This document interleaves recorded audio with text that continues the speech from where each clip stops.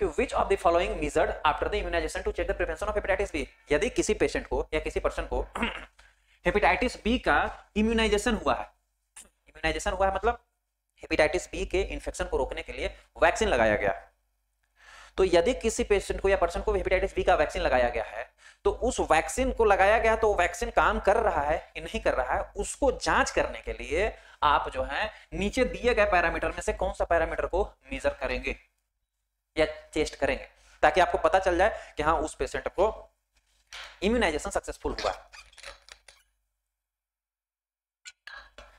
उस पेशेंट को वैक्सीन लगाया है, वो प्रॉपर वर्क कर रहा है। कैसे पता करोगे? सिंपल सा वर्क ऑप्शन पे आता हूँ, सुन लो पहले ध्यान से। कैसे किताबी किड़ा चेक करते हैं। क्योंकि ये नॉर्मली पढ़ाया गया होगा कि अभी थोड़ी देर पहले भी बता रहा था कि हमारी बॉडी में जब भी कोई एंटीजन इंटर करता है, थोड़ी देर पहले बता रहा था कि जब भी कोई एंटीजन इंटर करता है तो उसके अगेंस्ट हमारा इम्यून सिस्टम जो है एंटीबॉडी का फॉर्मेशन करता है। नॉर्मल इम्यून मैकेनिज्म अब यदि हमारा इम्यून सिस्टम कमज़ोर है, जैसे अभी कोरोना का केस हुआ था तो कोरोना में क्या था? हमारा इम्यून सिस्टम काम नहीं कर रहा था, कमज़ोर हो गया था। तो हम क्या करते हैं, उस पर्टिकुलर माइक्रो ऑर्गेनिज्म का ही एक सेल या एक सब्सटेंस को पैथोजेनिक सब्सटेंस को निकालते हैं और निकाल करके बॉडी में डाल देते हैं। ताकि उसके अगेंस्ट में बॉडी चूँकि वो डिटेक्टेबल हो जाएगा ह्यूज अमाउंट में एंटीबॉडी फॉर्मेशन कर देगा। ताकि जब नेक्स्ट टाइम कोई उसी सेम पर्टिकुलर एंटीजन इंटर करेगा तो उसके अगेंस्ट एंटीबॉडी ऑलरेडी प्रेजेंट होगा आपकी बॉडी में यही तो थ्योरी है वैक्सीनेशन की। मतलब क्या कहता है कि जब हम जो वैक्सीन लेते हैं, वो वैक्सीन एक एंटीजन होता है और उस एंटीजन को बॉडी में डाल देते हैं ताकि उसके अगेंस्ट एंटीबॉडी पहले से बन जाए। जैसे हेपेटाइटिस बी का वैक्सीनेशन करें तो हेपेटाइटिस बी का स्मॉल अमाउंट ऑफ़ एंटीजन हम डाल देंगे बॉडी में। अब बॉडी धीरे धीरे जो है उस एंटीजन के अगेंस्ट बहुत ह्यूज अमाउंट में एंटीबॉडी बना लेगा। और बना करके स्टोर करके रखे रहेगा। जैसे ही कोई अगली बार हेपेटाइटिस बी का वायरस हमारे बॉडी में आएगा, तुरंत उसके अगेंस्ट सेकेंडो में नहीं लगेगा सेकेंडो के अंदर भी। इम्यूनोलॉजी में पढ़ेंगे बहुत डिटेल ऐसा चैप्टर है।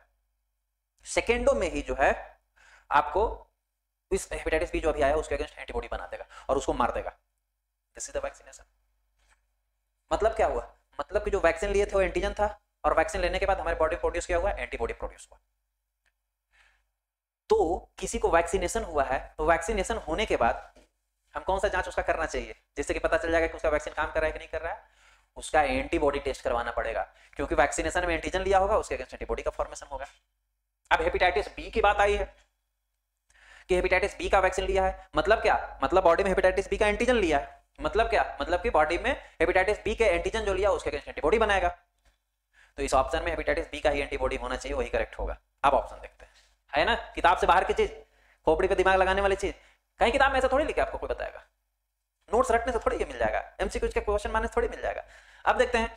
ऑप्शन नंबर है आईजीएम एंटीबॉडी है तो एंटीबॉडी लेकिन आईजीएम एंटीबॉडी हमें ढूंढना है हेपेटाइटिस बी का एंटीबॉडी हमें किस टाइप का एंटीबॉडी बनेगा ये नहीं ढूंढनी। जो एंटीजन डाला साहब हमको उसका एंटीबॉडी माँगता है। वही करेक्ट आंसर होगा। ऑप्शन नंबर बी है anti H B S A G क्या लिया था? हेपेटाइटिस बी का एंटीजन हेपेटाइटिस बी के पढ़ाया हूँ उसमें most prominent antigen hepatitis B का सरफेस एंटीजन होता है। मतलब बॉडी में क्या डाला था हमने? हेपेटाइटिस बी एजी डाला था। हेपेटाइटिस बी सरफेस एंटीजन डाला था। तो अब बॉडी में क्या प्रोड्यूस होगा? हेपेटाइटिस बी सरफेस एंटीजन का एंटीबॉडी प्रोड्यूस होगा। और उसी को डिटेक्ट करेंगे। तो इसको क्या बोलेंगे? एंटीबॉडी को anti hepatitis B surface antigen यानी कि anti H B S AG अब उसके बॉडी में क्या हम डिटेक्ट करेंगे? Anti H B S AG detect करेंगे। एच बी एस एजी है मतलब कि एंटीजन है, और एंटी लग गया मतलब कि एंटीबॉडी अवे हो गया। तो दैट मीन्स कि अब उसकी बॉडी में क्या प्रोड्यूस हुआ होगा सर उसके बॉडी में ए वाला एंटीबॉडी प्रोड्यूस हुआ होगा। दिस क्वेश्चन का करेक्ट आंसर हो गया option number B anti H B S AG यही तो इसका सरफेस एंटीजन के एंटीबॉडी हो गया। जहाँ एंटी पहले लग गया तो समझ लो एंटीबॉडी है। ऑप्शन नंबर सी है एच बी एस एजी ये तो रॉन्ग हो जाएगा। यही तो हमने डाला था उसके शरीर में। और फिर उसी को चेक करेंगे, नहीं ना? जो एंटीजन डाला उसके अगेंस्ट एंटीबॉडी चेक करेंगे सर और ऑप्शन नंबर डी है H B E G hepatitis B hepatitis E antigen hepatitis B का इनवेलप एंटीजन डिटेक्ट करने के लिए बोल रहा है। एच बी ई जी का मतलब क्या है? हेपेटाइटिस टाइटिस बी इनवेलप ई से इनवेलप एंटीजन और एस से सरफेस एंटीजन तो सरफेस एंटीजन जैसा कि मैं हेपेटाइटिस बी पढ़ा रहा था तो बताया था, सबसे प्रोमिनेंट एंटीजन होता है। तो यानी कि डाले तो सरफेस एंटीजन और टेस्ट इन्वेलप थोड़ी करेंगे इन्वेलप का नहीं करेंगे। और इन्वेलप का भी तो करते, अगर एंटीबॉडी रहता तो। ये क्या है? हेपेटाइटिस बी इन्वेलप एंटीजन डाले भी एंटीजन थे चेक भी करेंगे एंटीजन है, नहीं ना? ये दोनों एंटीजन है। ये दोनों के दोनों क्या हुआ? हेपेटाइटिस बी का एंटीजन है। और ये तो टाइप ऑफ़ एंटीजन है कैटेगरी तो करेक्ट आंसर कौन सा हो गया? ऑप्शन नंबर दिमाग लगा के छाटा कैसे आंसर?